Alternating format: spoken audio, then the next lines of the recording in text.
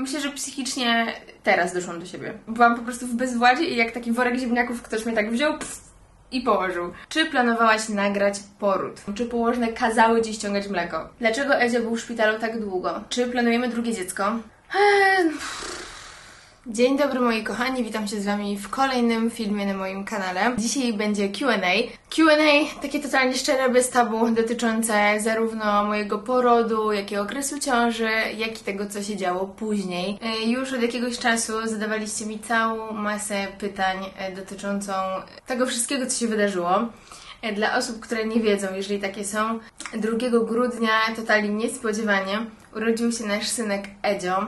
Edzio urodził się w 32 tygodniu ciąży, pod koniec 32 tygodnia ciąży. Ja miałam planowaną cesarkę na e, 20 stycznia. Edzio urodził się 2 grudnia, czyli właściwie trochę ponad półtora miesiąca wcześniej. Od tego czasu ym, dużo się u nas działo, a wiemy, że też wiele z Was się bardzo o nas martwiło i troszczyło w tym okresie.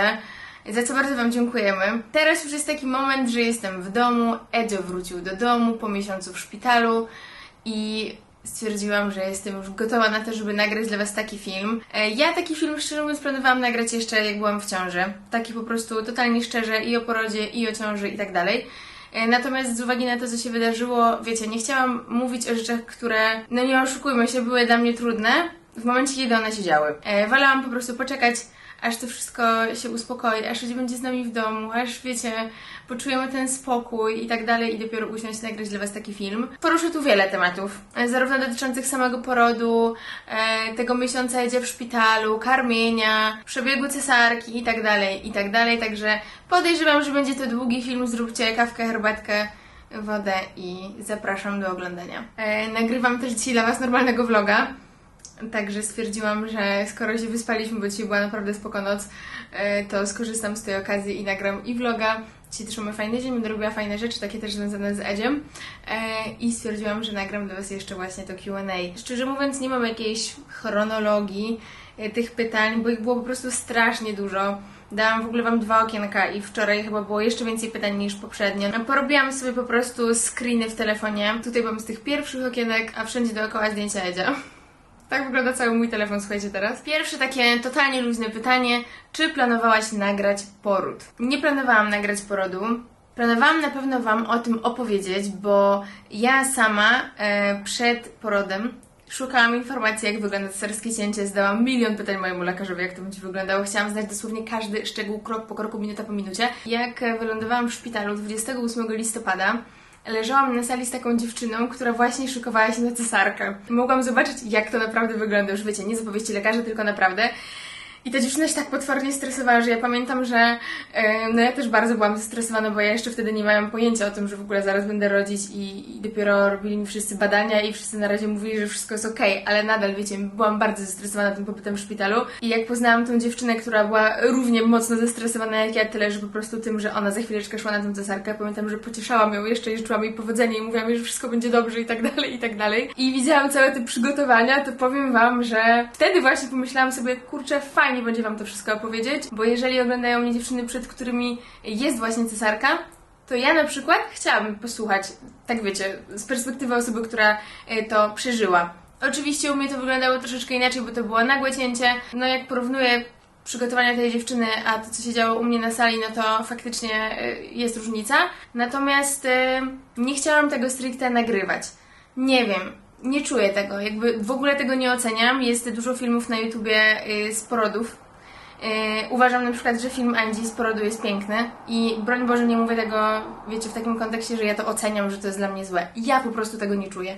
Chyba bym się źle czuła, gdyby tam była kamera. No wiadomo, że w ogóle w mojej sytuacji nawet, wiecie, ja, u mnie nie było takiej opcji, bo u mnie nawet przy tym porodzie nie było Jurija, natomiast e, planowaliśmy, żeby Juri był przy porodzie, ponieważ e, zależy to na pewno od szpitala, ale są szpitale, w których jest taka możliwość, żeby mężczyzna był przy cesarskim cięciu i Juri miał być przy moim cięciu.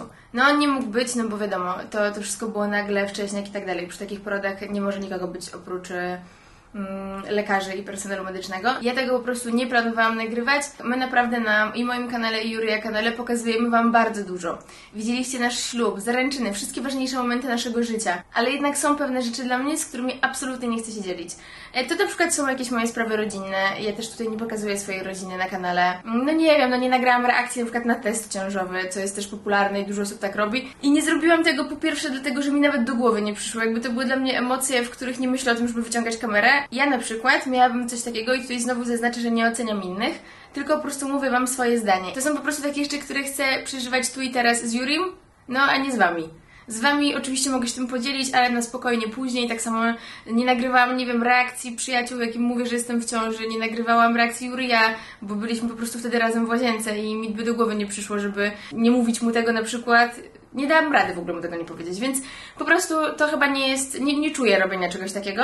Są dla mnie momenty, w których wyciągam kamerę i to jest naturalne, a są dla mnie momenty, w których e, po prostu nie chcę tej kamery, jakby to są dla mnie takie rzeczy, które chcę przeżyć sama albo z bliską mi osobą, E, ale tak jak mówię, to jestem ja i ja nie oceniam broń Boże innych, bo ja sama filmy takie oglądam na YouTubie i niejednokrotnie na przykład się bardzo wzruszyłam oglądając jak właśnie e, ktoś nagrał, jak przekazuje swojemu mężowi, że jest e, w ciąży i naprawdę te filmy potrafią być piękne, wzruszające i wcale ich nie neguję i uważam, że to jest też super pamiątka dla tych osób.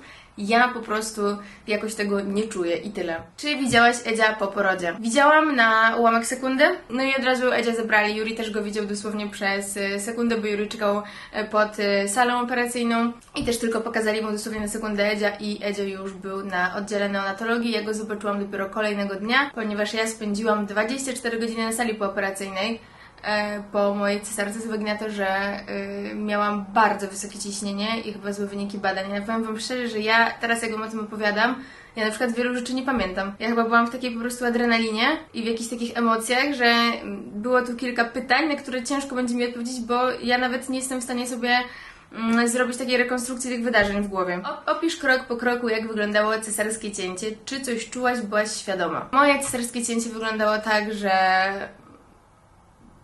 Mniej więcej trwało to, szacuję, około 5 minut. E, od tego, jak pani doktor powiedziała, jedziemy na blok, do tego, jak byłam już w tej koszuli ubrana i e, pojechałam. To trwał moment po prostu. E, Nie, nie było u mnie, wiecie, całego tego etapu, gdzie ktoś mi mówił, co będzie się działo. Znaczy, pani mówiła, ale to było na zasadzie, musisz usiąść z nieczulenia i tak dalej. Więc to było bardzo szybko. Ja praktycznie wjechałam na tą salę. Panie kazały mi usiąść, dostałam znieczulenie w kręgosłup, którego nawet nie poczułam. Jak mam być szczera, też było takie pytanie, czy znieczulenie w kręgosłup boli. Ja nawet go nie poczułam, ja byłam w takich nerwach, w takich w takim szoku, w takich nerwach i po prostu, wiecie, ja tego znieczulenia nawet nie poczułam. Panie zrobiły je bardzo szybko. E, powiedziały mi tylko, w jakiej mam usiąść pozycji, zrobiły znieczulenie, już mnie położyły. E, potem czułam, jak drętwieją mi już nogi.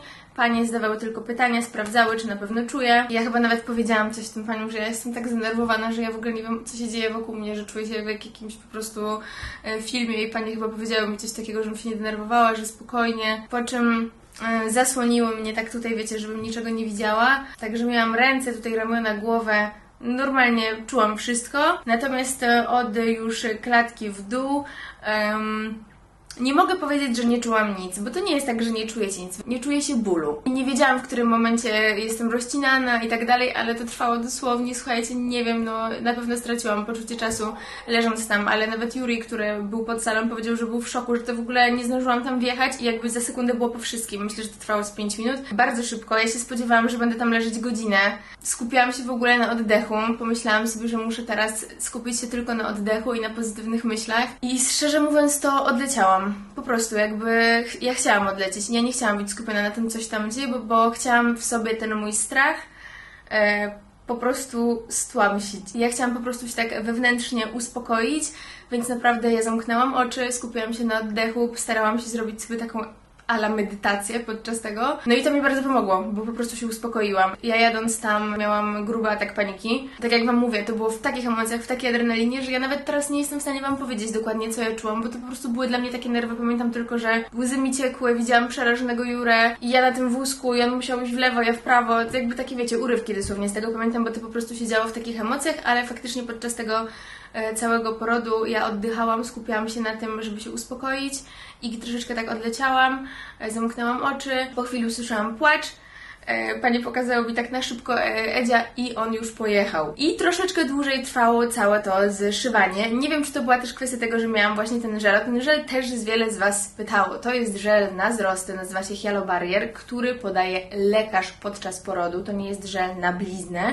To jest żel, który podaje się wewnętrznie i podaje go lekarz.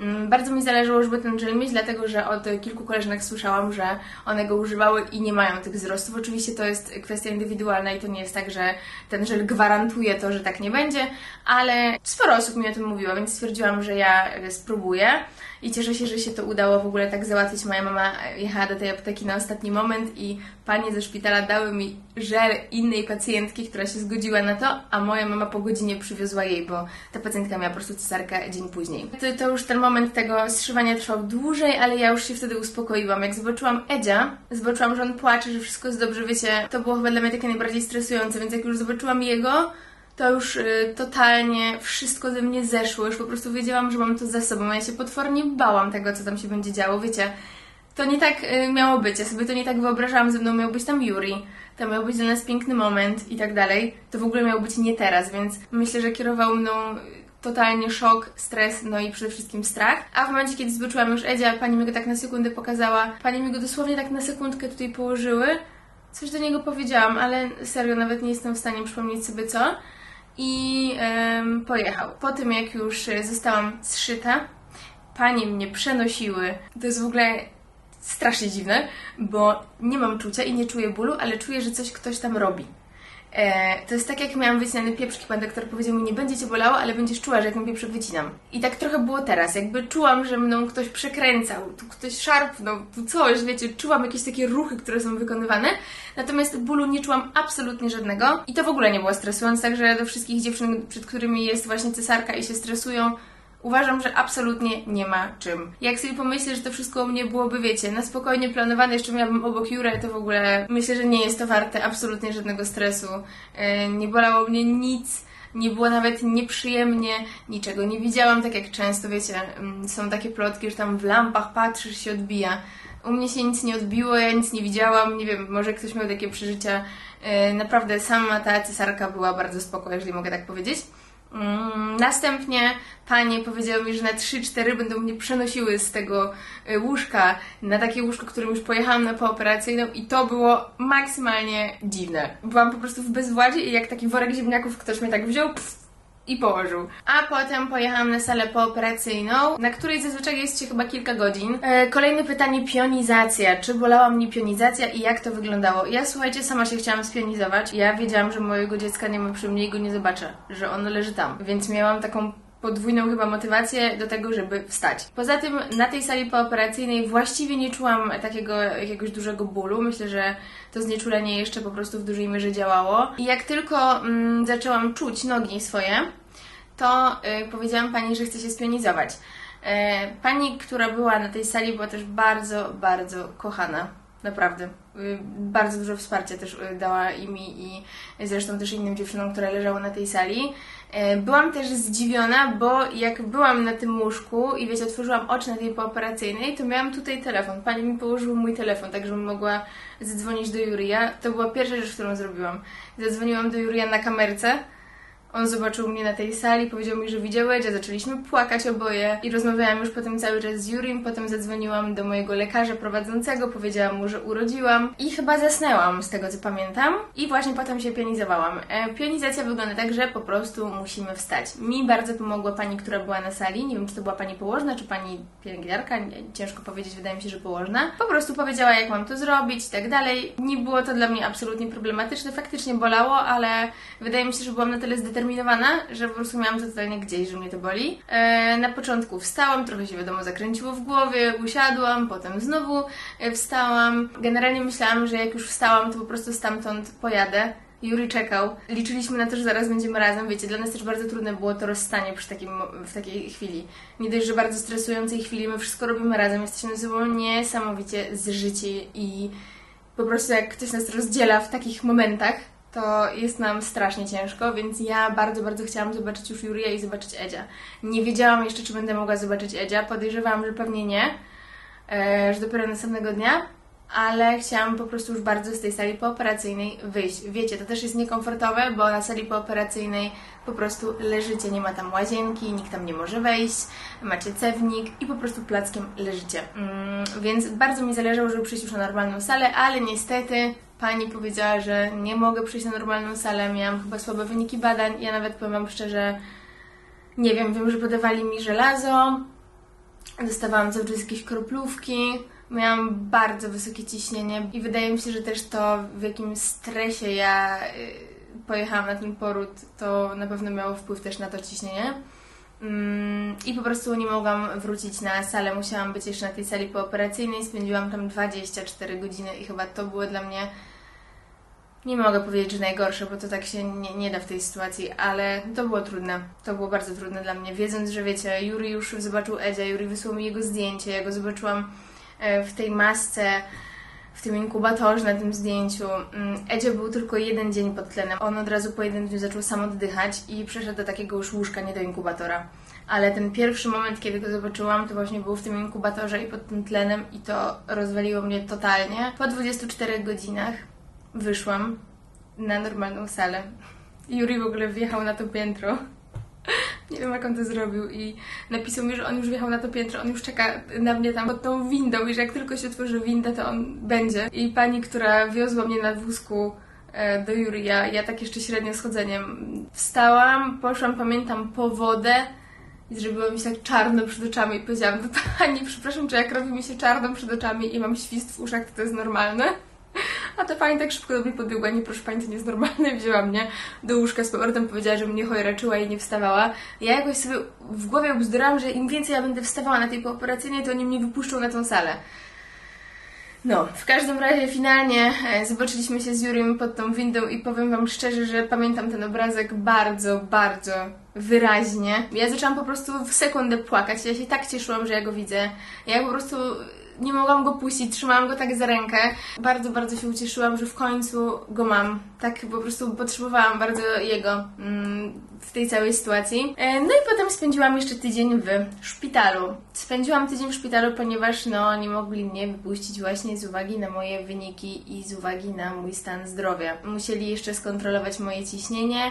Ogólnie dosyć długo dochodziłam do siebie. Pamiętam, że jak chodziłam do Edzia na oddział neonatologii, to musiałam robić przerwy, nie byłam w stanie dojść z tej sali na ten oddział tak na raz, tylko musiałam robić kilka kroków, siadać, znowu wstawać i tak dalej. Tak samo jak byłam z nim te pierwsze dni, to też prosiłam panie, czy mogą mi pomóc, bo nie jestem w stanie go podnieść na ten moment i wziąć go na ręce.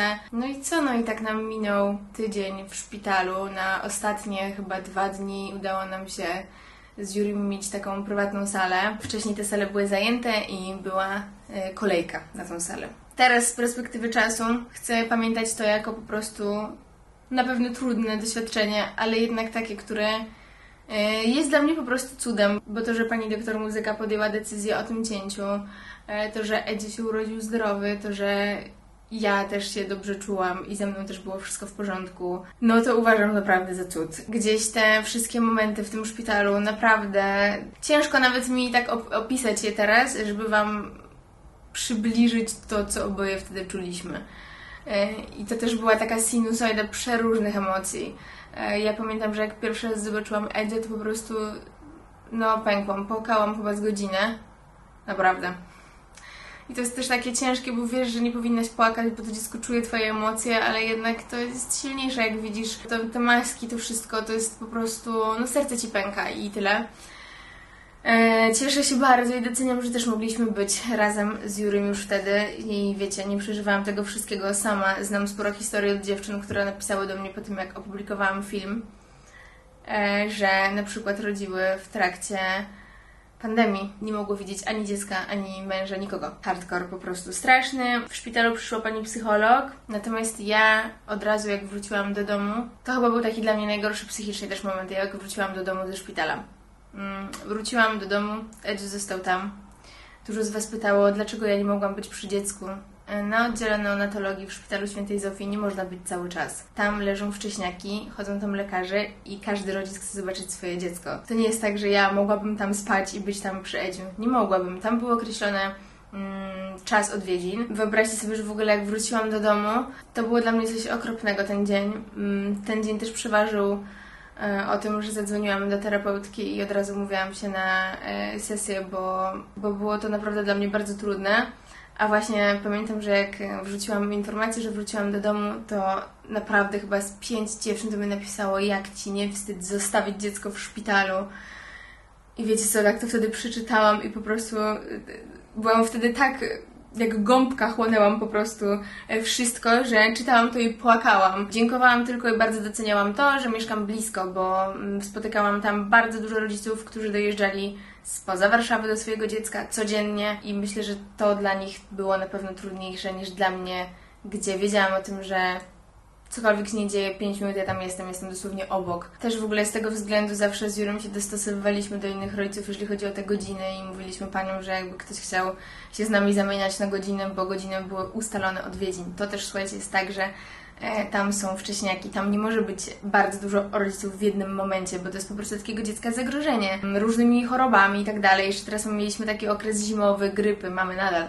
E, RSV i tak dalej, i tak dalej, więc e, rodzice musieli się umawiać na konkretne godziny, tak żeby jednocześnie nie było za dużo rodziców, bo do tego czasami dochodziło lekarze, pani położne, studentki, tam się robiło naprawdę dużo ludzi, e, a takich sytuacji po prostu, takiego tłumu trzeba było unikać. Gdybyś miała rodzić drugi raz, ciąża książkowa, to jaki szpital byś wybrała? Medicover czy Świętej Zofii? Wybrałabym bezapelacyjnie szpital Świętej Zofii, Mm, na pewno wybrałabym szpital z trzecim stopniem referencyjności, ponieważ moja ciąża pokazała mi, że mimo tego, że może być wszystko książkowo, mm, życie bywa nieprzewidywalne. I to nie tylko mój przykład, bo ja po tym, jak opublikowałam ten film, dostałam setki wiadomości, serio setki wiadomości od dziewczyn, które miały bardzo podobną sytuację. Ja leżałam na sali pooperacyjnej z dziewczyną, która miała wręcz identyczną sytuację E, z którym zresztą do tej pory mamy kontakt i byłyśmy ze sobą i na sali pooperacyjnej i potem na normalnej sali, i potem się widywałyśmy na neonatologii, bo ona też przychodziła do swojej córeczki i e, właśnie mieliśmy no prawie, że identyczną sytuację, tylko yy, Anita była tydzień później, jakby u niej się to tydzień później wszystko wydarzyło. Mi pani doktor na pytanie, dlaczego tak się stało, odpowiedziała, że ciąża bywa nieprzewidywalna. To nie jest, słuchajcie, tak, że mi się odklejało łożysko i ja tydzień chodziłam z odklejającym się łożyskiem, bo ja jadąc do szpitala miałam wykonywane badanie USG i pan doktor nie stwierdził odklejającego się łożyska. Natomiast z uwagi na to, że miałam takie jednorazowe krwawienie, po prostu zatrzymano mnie w szpitalu. I dzięki Bogu, że zatrzymano mnie w tym szpitalu, a decyzja o cesarce była podjęta na podstawie zapisu KTG. Miałam już wychodzić do domu, ale pani doktor wróciła do mnie i powiedziała: Muszę jeszcze zobaczyć raz, bo coś mi się tam w tym KTG nie podoba, muszę zobaczyć jeszcze raz. I zrobiła mi drugie KTG, zapis był nieprawidłowy, była podjęta bardzo szybka decyzja o, o nagłym cięciu. Także jak widzicie, nawet mimo to, że byłam w szpitalu, ja słuchajcie, tydzień przed tą sytuacją byłam na badaniach u swojego ginekologa i również wszystko było ok. Czy można było temu zapobiec? Nie wiem. Są po prostu czasami rzeczy, na które nie mamy wpływu i wydaje mi się, że ciąża jest na tyle nieprzewidywalna i ja sobie z tego na przykład nie zdawałam sprawy, bo szczerze mówiąc, nigdy w moim bliskim otoczeniu nie miał takiej sytuacji. Nawet nie w bliskim, nawet jakimś takim trochę dalszym. Więc wydawało mi się, że na pewno mnie to nie spotka, bo przecież wszystko jest dobrze, wszystko jest książkowo, super wyniki badań i tak dalej, i tak dalej. Jednak to może spotkać każdego i ja teraz e, po tym doświadczeniu, które przeżyłam, na pewno nie zdecydowałabym się na poród w szpitalu prywatnym, ponieważ e, no, w sytuacji, w której działoby się coś takiego, jak na przykład u mnie, i tak wylądowałabym w szpitalu państwowym, ponieważ prywatne szpitale po prostu no, nie mają takich sprzętów, nie mają takich możliwości. To jest na pewno duży luksus i mimo tego, że ja podjęłam decyzję, że rodzę w Medicoverze, e, byłam tam na kwalifikacji do porodu, mój lekarz tam odbiera porody i tak dalej, i tak dalej i jakby nie, nie krytykuję też tego szpitala, broń Boże, bo sama chciałam tam rodzić. Ale po tym doświadczeniu, które przeżyłam, na pewno nie zdecydowałabym się na poród w szpitalu prywatnym. Dziękuję bardzo mojemu lekarzowi prowadzącemu, że od razu powiedział mi, żebym jechała do szpitala świętej Zofii, e, ponieważ, tak jak powiedziałam, jest to szpital o trzecim stopniu referencyjności, jest tam genialny oddział neonatologii, są tam cudowne panie położne, wspaniali lekarze i jestem pewna, że w tej sytuacji lepiej trafić po prostu ze szpitalem nie mogłam. Mm, na pewno zdecydowałam się na szpital państwowy i na pewno byłoby to szpital Świętej Zofii. Jest też pytanie o to, czy planujemy drugie dziecko. Szczerze, ja po tym doświadczeniu nie planuję drugiego dziecka. Może w przyszłości zmieni mi się podejście, natomiast na ten moment nie, po prostu bym się bała. E, nie chciałabym tego wszystkiego przechodzić drugi raz, tego stresu, tych nerwów i tak dalej. Kocham Edzia nad życie, jest nam cudownie we trójkę. Na ten moment nie zdecydowałabym się na drugie dziecko. Być może, wiecie, kiedyś to się zmieni jestem świeżo po porodzie, więc moja opinia może być teraz nieobiektywna. E, rozmawialiśmy też o tym z Jurim i Juri też stwierdził e, dokładnie to samo, że po prostu po, po tym doświadczeniu nie zdecydowalibyśmy się na drugie dziecko, przynajmniej na razie. Nie wiem, może serio, może nam się to zmieni w przyszłości, wiadomo, ludzie zmieniają zdanie, ale na ten moment nie. Dlaczego Edzio był w szpitalu tak długo?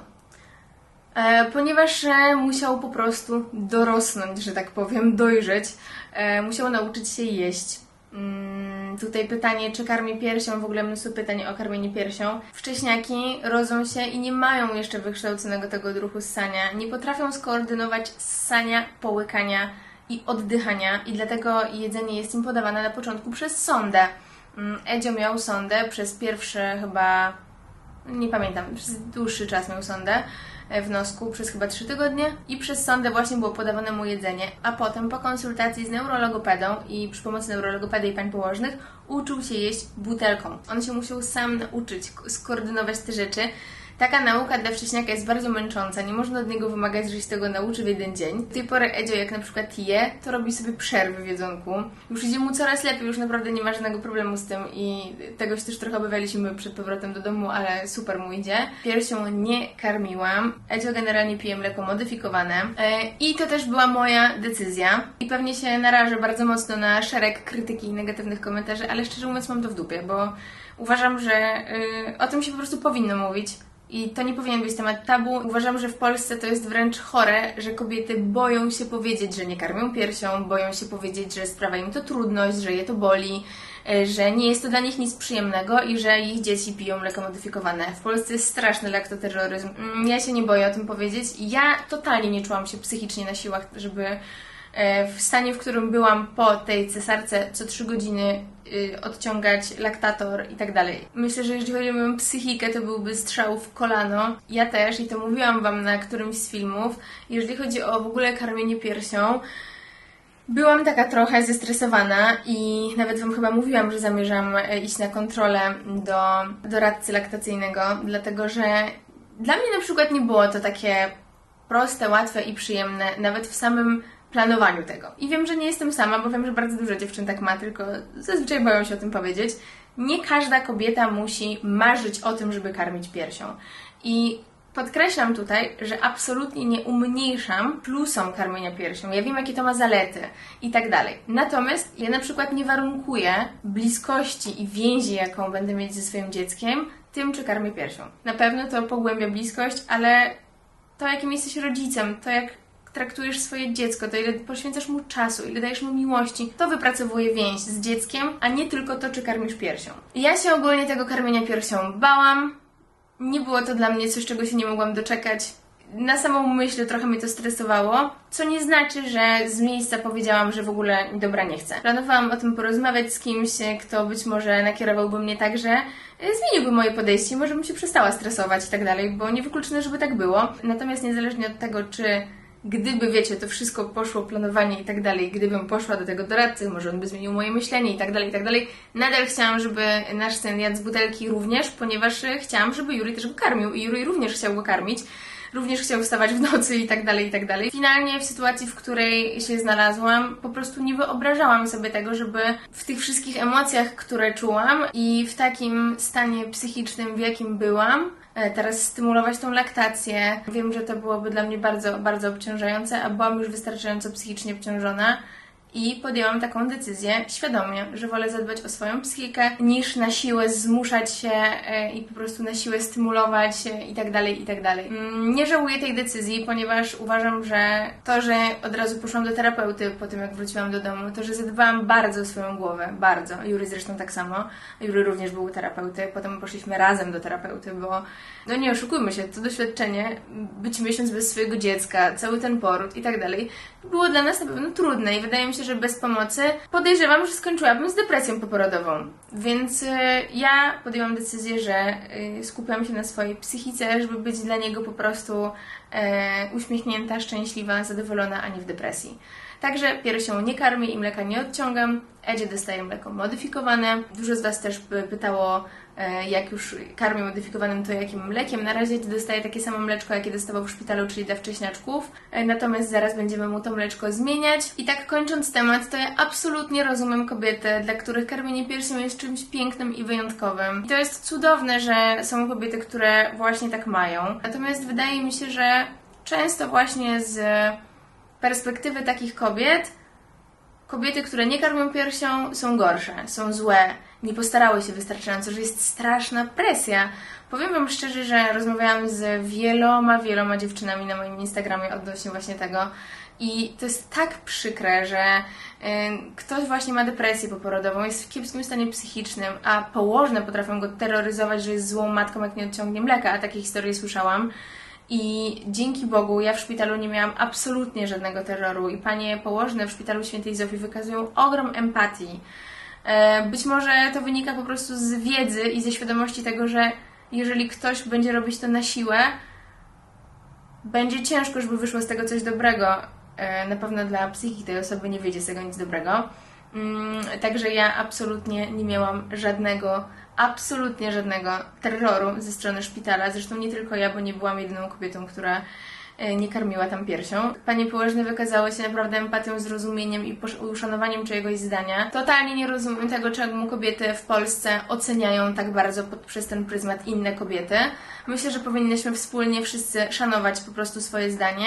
I tutaj po raz kolejny zaznaczę, ja nie podważam tego, że karmienie piersią jest zalecane, jest zdrowe, jest lepsze dla dziecka i tak dalej. Ja naprawdę tego nie podważam. Natomiast e, uważam, że takie gadanie, że jak nie karmisz piersią, to twoje dziecko będzie miało zero odporności i nie będzie miało z tobą więzi, a takie gadanie jest w Polsce, jest po prostu bzdurą. Ja uważam, że więź między dzieckiem a rodzicem buduje się przede wszystkim cały czas, będąc po prostu dla tego dziecka kochającym, dobrym e, rodzicem. E, powiem Wam jeszcze, że rozmawiałam o tym potem z doradcą laktacyjną, która powiedziała mi, że to jest właśnie niesamowite, jak kobiety się boją o tym mówić. Nawet idąc do doradcy laktacyjnego, kobiety się boją przyznać, że boją się karmić piersią, że nie jest to dla nich przyjemne, że, że nie czują tego.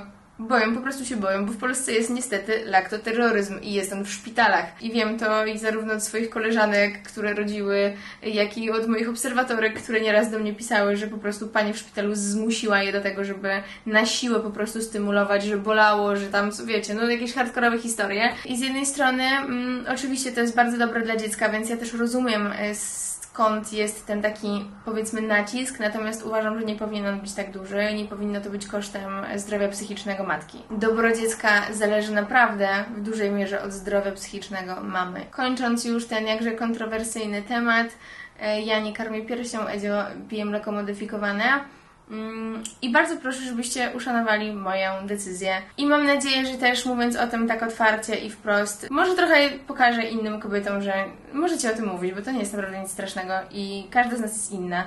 Każda z nas inaczej przechodzi przez różne rzeczy i to, że jedna osoba bez problemu ma mleko, laktacja super, odciąganie super, karmienie piersią super, a druga kobieta nie będzie miała tego mleka, nie będzie miała tej laktacji i będzie musiała ją stymulować, co będzie dla niej trudne i psychicznie, i fizycznie, i może się poddać. I powinniśmy to uszanować i nie oceniać. Po jakim czasie zaczęłaś do siebie dochodzić po porodzie, zarówno e, fizycznie, jak i psychicznie? Fizycznie tak naprawdę zaczęłam dochodzić do siebie, jak zdjęli mi szwy, czyli po 10 dniach chyba, e, a psychicznie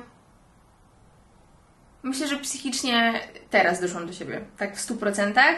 Oczywiście yy, wcześniej też jakby nie mogę powiedzieć, że byłam w jakimś strasznym stanie psychicznym przez ten miesiąc, bo myślę, że naprawdę my sobie dobrze z Julią radziliśmy, ale ja w środku, w sercu cały czas czułam, że nie jestem szczęśliwa, dopóki Edzia Edzio leży w szpitalu. Wydaje mi się, że teraz dopiero mogę o tym wszystkim tak spokojnie mówić, nie wzbudza to już we mnie jakichś takich skrajnie smutnych emocji, nie płaczę opowiadając o tym i tak dalej.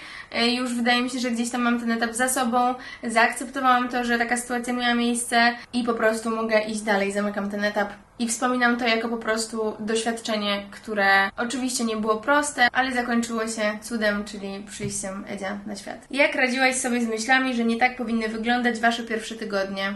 Przyznam, że pierwszy tydzień sobie nie radziłam z tymi myślami. Mm, Dopiero po właśnie sesji z moją terapeutką e, zaczęłam radzić sobie z tym o wiele lepiej. Zaakceptowałam tą sytuację i przestałam walczyć z tym. Kluczem była właśnie ta akceptacja tej sytuacji i też em, nie myślenie o sobie, bo wiecie, rodzic, jak dziecko jest w szpitalu, trochę myśli o sobie, bo myśli, Boże, jak ja bym chciała, żeby on był ze mną, żeby on był przy mnie i tak dalej. Ale dla tego dziecka to nie jest najlepsze rozwiązanie, bo na ten moment to dziecko potrzebuje profesjonalnej opieki, potrzebuje lekarzy, potrzebuje być w tym miejscu, potrzebuje mieć wykonywane badania, potrzebuje mieć dostarczone jedzenie przez sondę.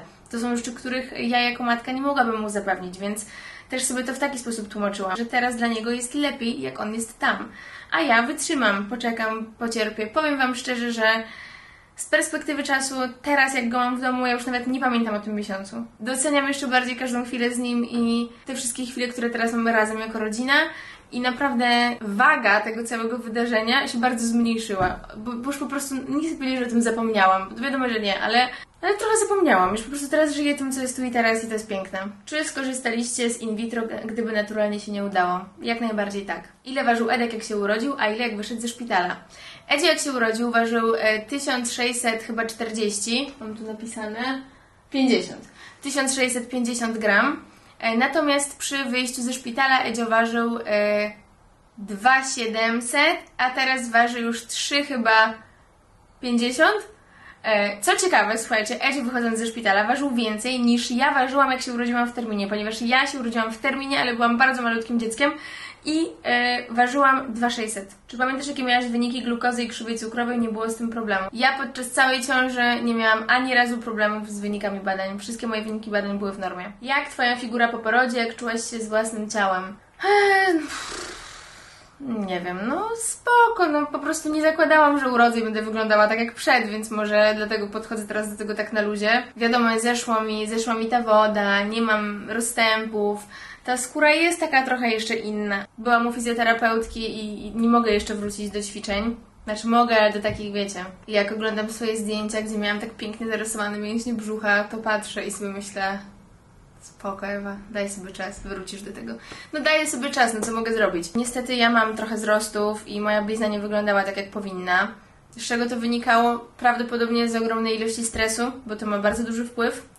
Eee, Ja przez tydzień w szpitalu praktycznie nic nie jadłam, to też ma bardzo duży wpływ. Używam plastra na bliznę Suprimet, Supre... coś tam?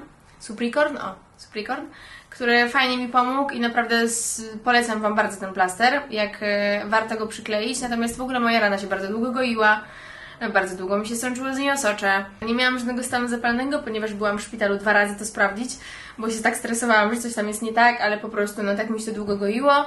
E, Właśnie jak byłam u fizjoterapeutki, to powiedziała, że mm, dużym czynnikiem, takim, który bardzo negatywnie wpływa na proces gojenia się takiej rany i na powstawanie wzrostów jest stres.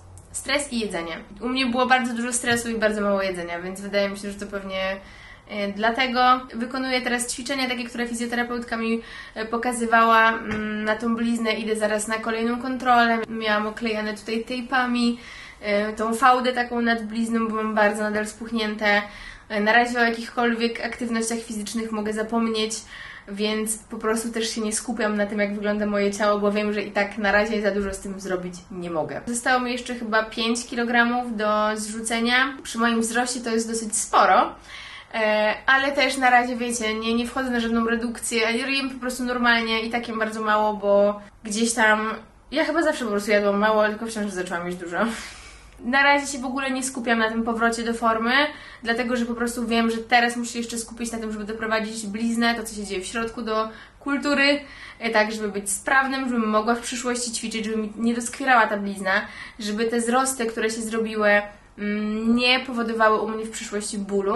I w tej kwestii działam, chodzę regularnie do fizjoterapeuty, wykonuję ćwiczenia w domu. Na razie się skupiam na tym. A ciało wiem, że wróci, tylko po prostu muszę sobie dać na to troszeczkę więcej czasu. I tak uważam, że naprawdę nie jest źle. Y, Doceniam moje ciało bardzo, że trochę mi się jednak odwdzięczyło tym, że całe życie ćwiczyłam, bo faktycznie ta skóra wróciła, jest jędrna, celulit poznikał, który miałam w ciąży, także to naprawdę super. A to, że wiecie, mam szersze biodra, więcej kilogramów i nie mam już mojej kraty na brzuchu, no to trudno. Muszę po prostu na to zaczekać. Muszę na to zaczekać, aż mi stan zdrowia pozwoli ćwiczyć i tyle. Także nie katuję się tym, nie wymagam od siebie na razie zbyt wiele w tej kwestii, tylko po prostu cierpliwie czekam i na razie się skupiam bardziej na swoim zdrowiu niż na powrocie, wiecie, y, figury do stanu sprzed ciąży. Wiem o tym, że wrócę do tej figury, po prostu. Wiem o tym, że jak już dostanę zielone światło, będę mogła już iść na trening i po prostu będę działać i, i to jest wszystko, wiecie, wszystko jest do zrobienia.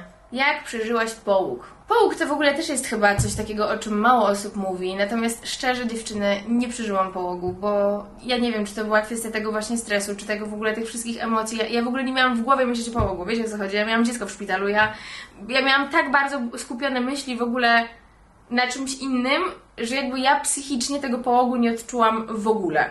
Może na początku tym, że byłam taka bardziej drażliwa. Już jeżeli chodzi o takie dolegliwości fizyczne, to kilka, dosłownie kilka dni delikatnego krwawienia, także u mnie to było naprawdę bardzo lekko i ten połóg był absolutnie dla mnie nie jakiś taki inwazyjny, e, aczkolwiek wiem, że połóg potrafi dać w kość. I wydaje mi się, że to jest też bardzo indywidualna kwestia, jak kobieta ten połóg przeżywa. I chyba więcej Wam nie mogę powiedzieć, bo naprawdę odnoszę wrażenie, że ja po prostu go jakby nie miałam. Połóg ma się mi skończyć terminowo zaraz, bo chyba za tydzień. Ech, idę wtedy też do ginekologa na badania i tak dalej, i tak dalej. I zobaczymy. Ale wydaje mi się, że jest wszystko w porządku, ja się bardzo dobrze czuję. Czy Edzio śpi w swoim pokoju?